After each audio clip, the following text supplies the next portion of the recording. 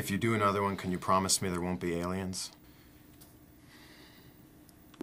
Have you seen Indiana Jones and the Kingdom of the Crystal Skull? Spoiler alert for everybody. You can stop now if you don't want to hear this. At the end of the movie, the crystal skulls are aliens. It's ridiculous. It's Any just so strange. Yeah. So I interviewed Harrison Ford for a different movie, and I said, Harrison, do you think you'd ever do an Indiana Jones 5? And Harrison Ford speaks like so lowly. He's like, well, you know, it took us this long to do this movie. I don't know. I'd love to do it. It's just a matter of time. Uh, I said, Well, Harrison, if you do another one, can you promise me there won't be aliens? he looks around the room, and I'm like, Oh no, I'm never going to do another interview again.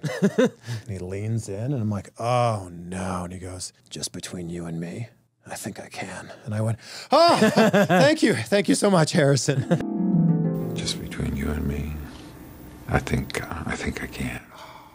Thank you, Harrison. Thank you.